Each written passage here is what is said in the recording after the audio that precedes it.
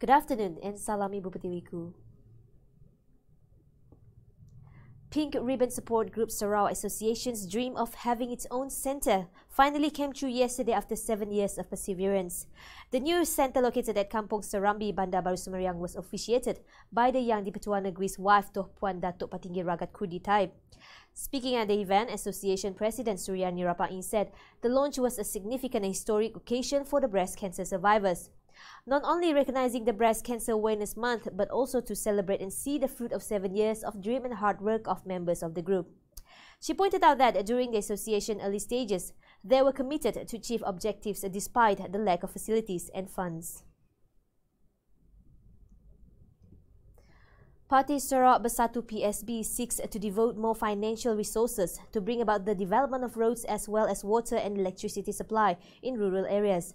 Speaking at a ceremony to present minor rural project funds yesterday, its president Datuk Sri Wong Soon Koh said the party will prioritize all development efforts to bring about maximum benefit for the maximum number of people.